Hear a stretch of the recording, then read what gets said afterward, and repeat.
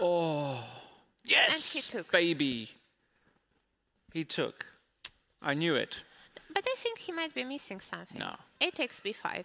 No, no, no, no, no, no, no, no. You don't miss something here. Okay, I so he might be. No, no, no, no, no, no, no. All right, so where is the mate? Bishop takes c6. Well, he might go with the rook. Let's say we go with the rook. But didn't we look at something very similar? No, it was different. Hmm. All right, bishop, E7. Bishop e7. Okay, let's try this one first. So I take, Rook c8, bishop c8. and yeah, this, Bishop this and King F8 we were doing, right? I, I even have bishop d7 here with the queen on a7. Yeah, let me think, let me think, let me think. But he took on b5, and a takes b5 okay, is probably let's stop forced. here. Great calculation exercise.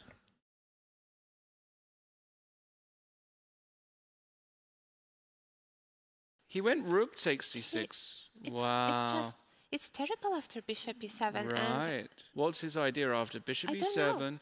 He wants to just, you know, he's thinking ah, he went for this variation, but after Yeah. bishop d7, maybe he wants to go rook c1, rook c7. That's what he wants to do.